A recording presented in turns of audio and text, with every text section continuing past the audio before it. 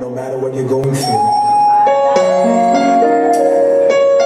I know that you can stand. For your life is in, in his hands. Listen.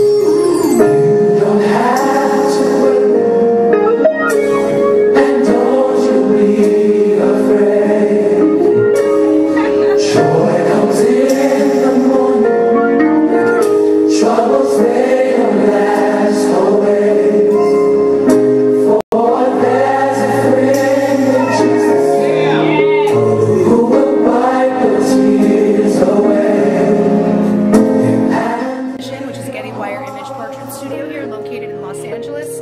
Come check us out at starvingartistproject.com.